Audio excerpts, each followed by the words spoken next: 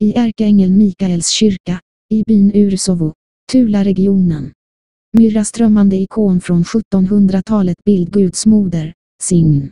Vi ser en video filmad i templet, där vi uttryckligen märker mirakulösa fenomen.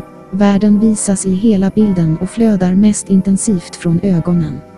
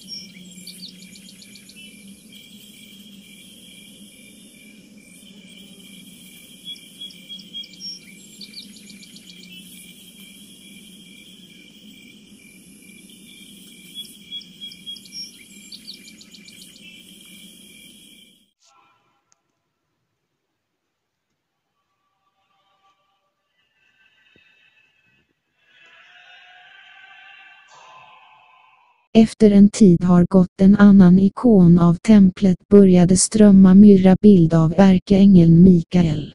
Veden sky tikvinklostret.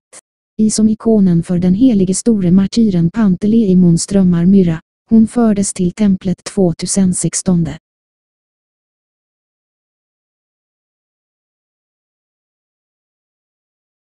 I ärkeängeln Mikaels kyrka, i byn Voron Losovka, Lipetskregionen.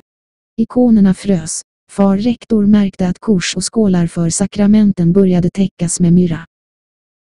Sedan satte han två kryss på en bricka och snart märkte att han var helt fylld av världen.